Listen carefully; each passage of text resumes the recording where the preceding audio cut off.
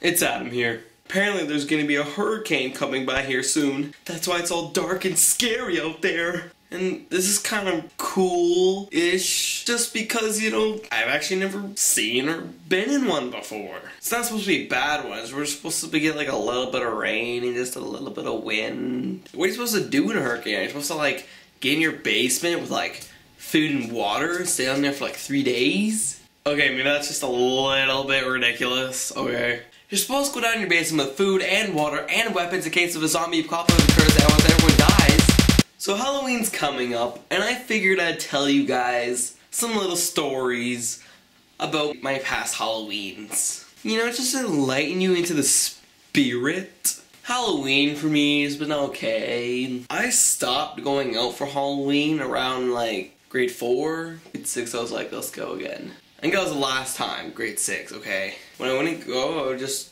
be that person just sitting down there waiting for the doorbell to ring and just be like, ah, trick or treat, trick or treat. So I think it was um grade 7 where I was just like, you know, I'm gonna try something cool. So in grade 7, which was 2010, I decided to do something cool you know, something new. So I decided to make my house into like one of those really scary ones and like scare people. So what happened is I got three other people, Damon, uh, Justin, and Michael. What happened was we were gonna set up this kind of thing where I would be in the bushes next to my door. So when people walk across the lawn, I would be like, ah, check the bushes or whatever, like whatever, right? And Damon are kind of like behind like my house, like alleyway wall, and when they come around there, pop out and stuff. And then Michael was kind of like a dead body or something. I don't know what he was. And then Justin would be like sitting on like the porch step, like pretending to be like dead. I don't know what he like like like one of those fake people. And then kind of like jump at him and then like oh here's candy, right? He'd give out he'd give out the candy after scaring them.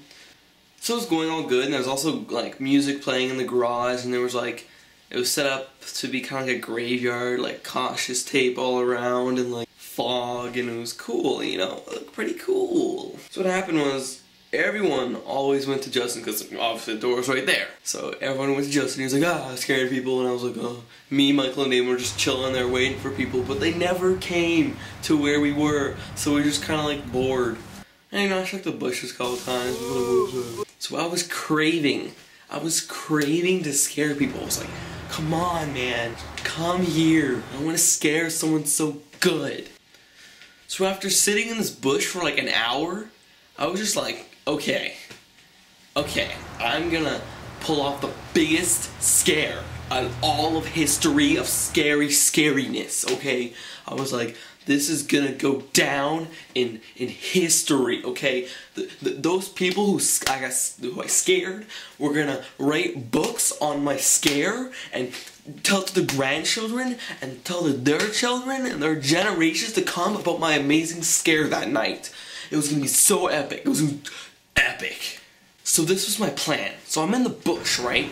And these 16 basically senior high school people come to our door, right? They're chilling, they're all having a good time. So they go up to Justin, and Justin scares them. They're like, oh, holy crap, what was that? And then um, there's like, oh yeah, here's your candy, here's your candy, man. And then I'm like, this is it.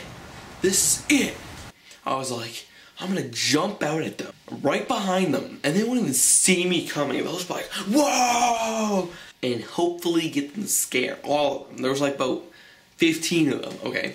So I'm like, this is it, this is it. I just run out. All, like, about some of them already saw me, but there's no turning back. I'm already on my way, okay? So I'm running, okay, full on sprinting. And I'm like, I don't know what I said. I think I was like, some like next thing, I don't know. I was like, I had a really squeaky voice. So yeah, I, I, I went behind them and I was like, and then they kind of just looked at me. They're like, hell? Who are you? What? I was so embarrassed because like what I did was I just kind of I just kind of kept running. Like I ran like and then I like I was like oh crap and then I ran into my garage where all the music was playing and hid behind my car. I was like oh god, oh god, they're gonna think I'm a loser. That is so embarrassing. It has to be one of my embarrassing moments of my entire life. So that's all for today. Subscribe if you want to see more.